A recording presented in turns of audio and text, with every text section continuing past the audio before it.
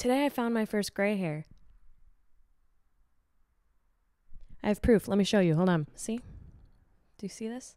Probably can't. Probably can't because it's fucking gray. Let's take a guess on how I'm handling it.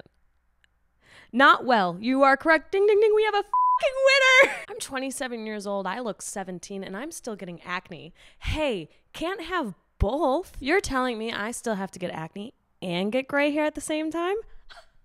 That makes little sense. You know, I just thought I was going to be 18 forever. Is that not how it works? I'm confused because that's actually what what I thought my life was going to be. I was never going to get older.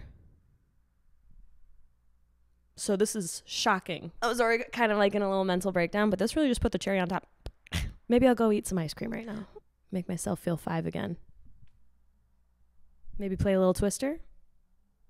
A little bit of bop it, maybe some skip it. I feel like saying skip it just aged me a little bit.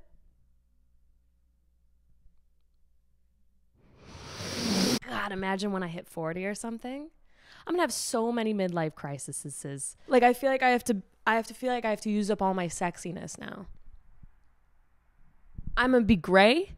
I'm getting old. Oh my god, I'm gonna start walking around naked. I'm doing it. I'm doing it. I mean, yeah, oh my god, my neck just cracked doing that. See?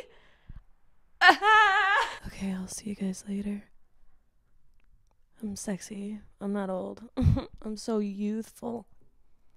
So, la, la, la, la. I gotta go. Okay, bye. Sorry for the no quack noises or shablam, but like you just saw in the video, I am getting older, so I'm boring now. I'm lame as well uh, now, although I am still very dramatic.